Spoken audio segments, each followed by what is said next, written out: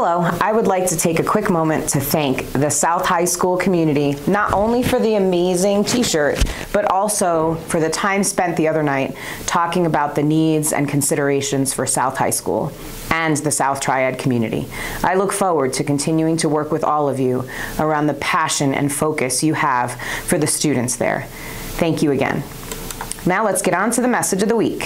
Thank you for tuning in for this message from Laramie County School District 1. My name is Dr. Margaret Crespo and I am your Superintendent of Schools.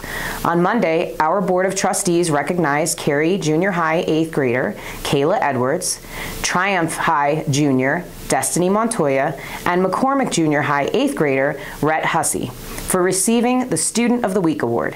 Thank you for your hard work and dedication. Spring is in the air, and I am excited that many of our plans are moving forward, due in large part to our developing community partnerships. Last week, we were finally able to put our South Triad Facilities Plan into motion. We are so grateful for the community members and legislators that have helped us move this plan along for the benefit of our students. Additionally, we started a new program called Discover Laramie County School District 1. This was based on feedback we received during a recent community engagement breakfast. Through Discover Laramie 1, community members have a chance to tour our spaces. So they are aware of the 21st century learning experiences our students are exposed to.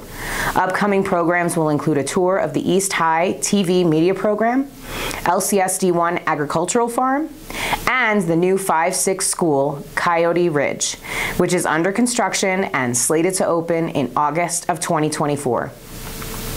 We fully recognize that today's schools look very different from what many of us remember about school when we attended. We have so many hands-on programs which provide students an opportunity to experience what the application of content and skills will look like in the real world, and we are trying to showcase that.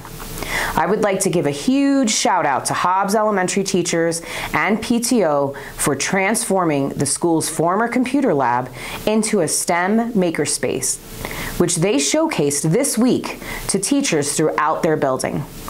This amazing space provides students with many unique learning opportunities. Finally, we are nearing the close of our second Navigating Laramie 1 program. 10 dedicated community members attended monthly learning sessions beginning in January. It's not always easy to take a crash course in school finance or instructional practices, and I am grateful that they took the time out of their busy schedules to network and learn more about education. If you are interested in joining us this summer, we will open applications for next year's program. Thank you and have a terrific week.